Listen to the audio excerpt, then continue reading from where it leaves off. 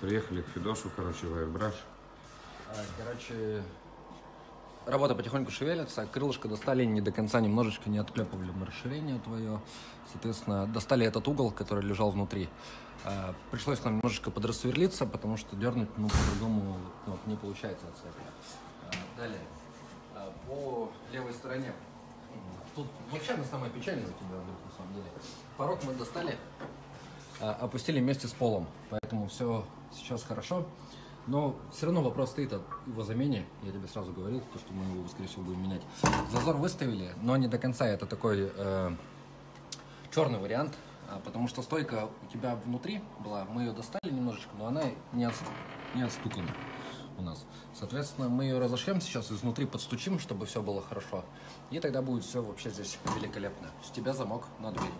Если ты его найдешь где-нибудь. Если, ребят, есть у кого замок на дверь, Если ты его найдешь если, ребят, есть у кого замок на дверь от тренажки, либо скажите, есть, может, какие-то вариации, типа замены замка от других э, автомобилей, там, не знаю, с других дверей.